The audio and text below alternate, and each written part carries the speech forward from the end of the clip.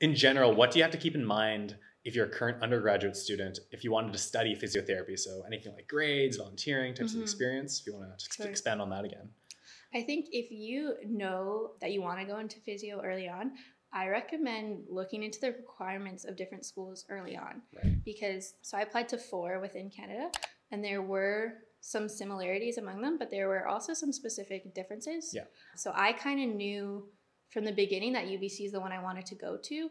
So even as early on as like first year, I was looking at their PT Wow. requirements, kind of just out of curiosity, but Yep. also to keep it in the back of my head For sure. when it came to like course selection and that kind of stuff.